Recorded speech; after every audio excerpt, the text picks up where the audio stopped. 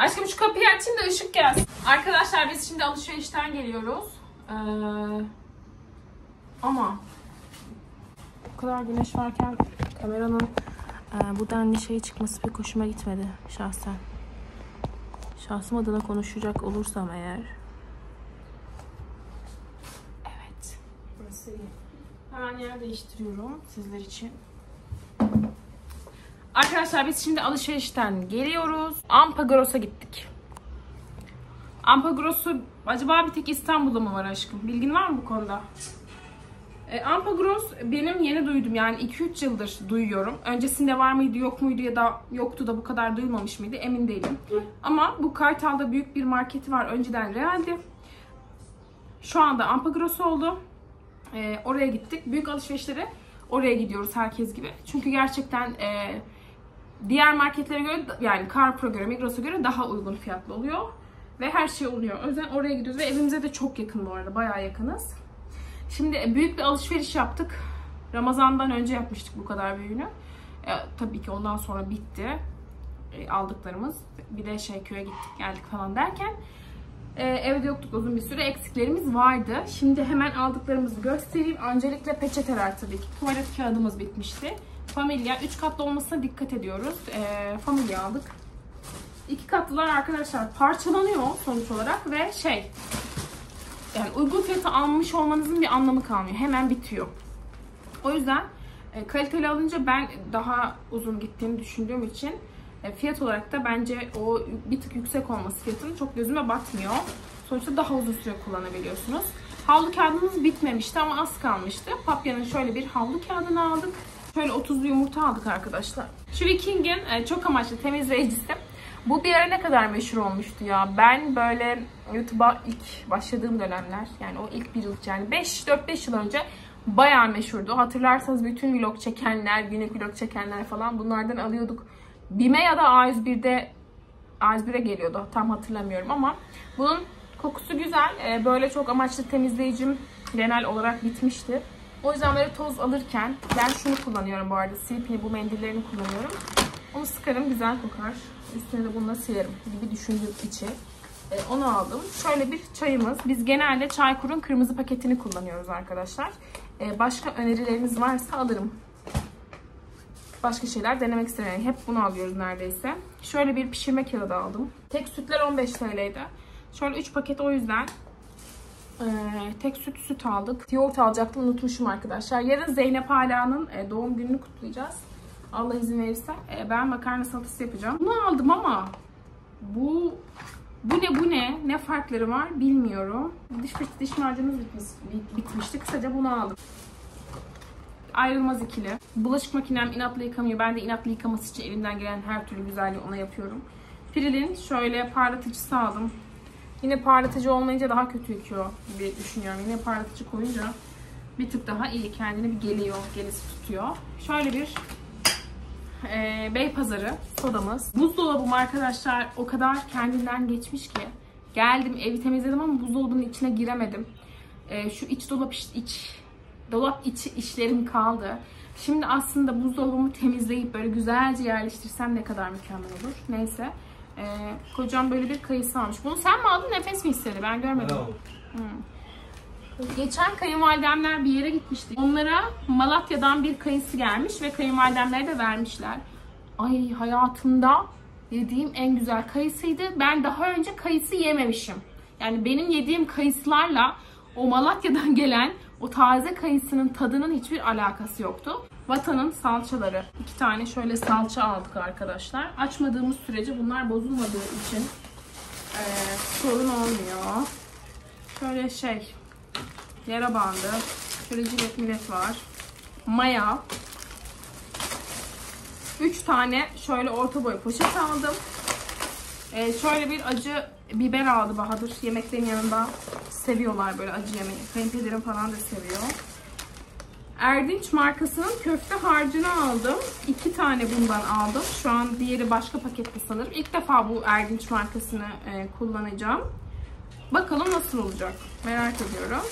Pilavlık bul bulgur. Arkadaşlar biz Ramazan'dan önce aşk bana yardım etsen. Bir yandan şey yap.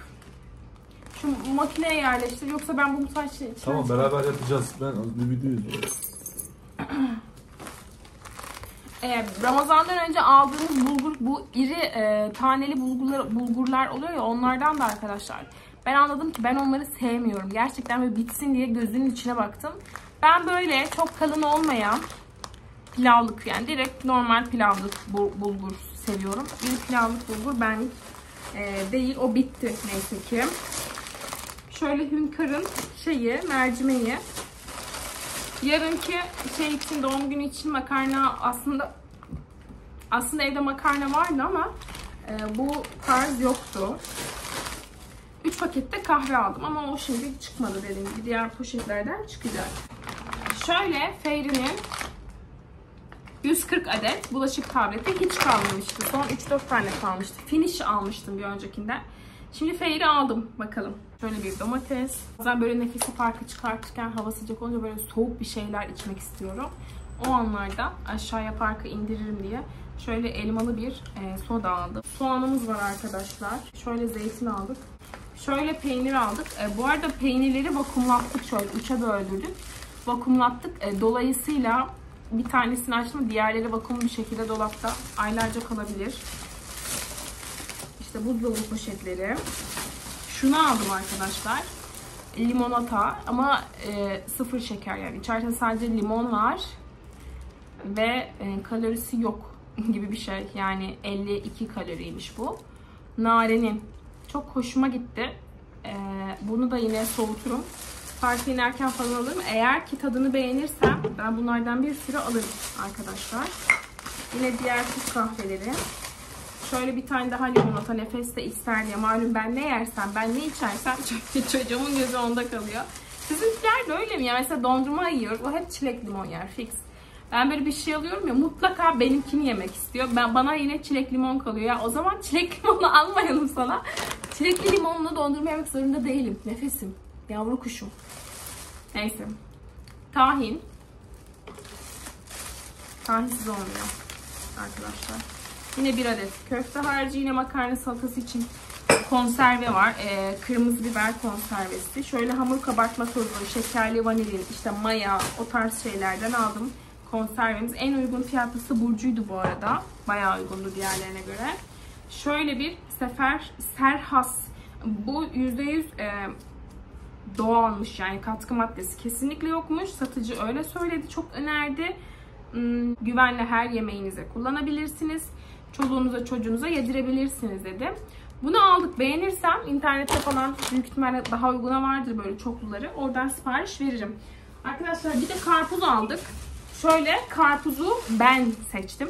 Şimdi Bahadır kelek çıkar, sen seçme. Şöyle erkeklerin bir huy vardır ya arabayı en güzel onlar kullanır. Karpuzu en güzel e, onlar seçer.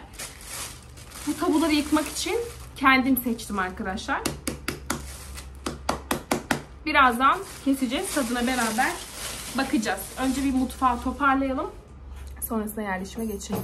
Aşkım haydi bu, kapat. Şimdi benim şöyle bir kutum var. Zaten sıkı takipçilerim bu kutuyu bilirler. Ben bu kutuyu dolapta tutuyordum buzdolabında.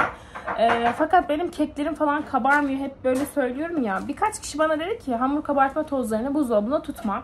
Şimdi ben bu kutuyu dolaptan çıkarttım, yıkadım bir güzelce. Bu yeni aldığım her şeyi yerleştireceğim ve artık bunu dolapta tutmayacağım. Sonuçta düşündüğümüz olarak düşününce e, markette de bunlar dolapta değil. İşte ben bunun içerisine neler koyuyorum? Mayalarım, hamur kabartma tozlarım, şekerli vanilinlerim. Şimdi hepsini böyle buraya dizdim. Ee, şöyle kakaolarım var. Mesela bu yarım paketi açmışım bunu. Kuş üzümüm varmış bir tane. Yani gerçekten bunları dolapta tutmanın anlamı yok. Şöyle yedek e, baharatlıklarım var. Karanfil, kekik, böyle yedek şeyler. İşte köfte harcım. Artık bunların yeri başka bir yer olacak. Şöyle e, kakaom var. Bunları paketten çıkartıp yerleştiriyorum. Bir tane şöyle çiğ köfte harcı almıştım. Bunu bu alışverişte almadım. Önceden almıştım. Bu var. Aslında şu köfte harcından bir tane daha vardı ama şimdi bulamadım ya. Onu da bulsak da buraya koysak. Şimdi benim... Yok aşkım bugün iki tane aldım. Evet bu kutu bu şekilde oldu arkadaşlar. Ee, böyle bunları şimdi dolaba koymayacağım. Ee, başka bir yer var aklımda. Oraya koyacağım. Bunu şimdi kaldırıyorum. Böyle limon tuzlarım vardı yarım yarım. Onları şöyle bir kavanoza koydum. E, bunları ben temizlikte kullandığım için limon tuzunu yemekte falan yani sirke ım, turşu falan yapmıyorum yani. Bunu ben böyle kettle'larımın içindeki kireçleri sökmek için kullanıyorum. Yani temizlik amaçlı olduğu için bunları da ciflerin çamaşır sularının yanına koyacağım. Böyle ufak bir kavanoza aldım. Az kalmış. Keşke bugün e, alsaydım.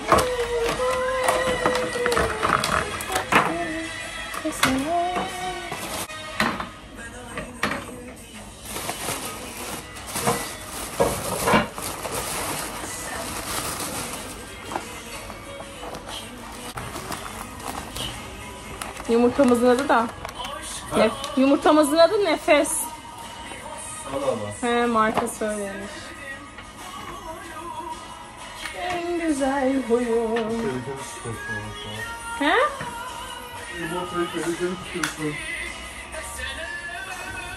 Ben korkayım ya. Arkadaşlar Bahadır Bey karpuzun güzel olmayacağını düşünüyordu ben seçtiğim için. Karpuza bir bıçak batırdı çatır çutur karpuz. Bir göz göze geldik. Kocamla bir göz göze geldik. Hadi bakalım. Kelek değil. Yok kelek olacak. İçi bembeyaz olacak. Ben ben seçeyim.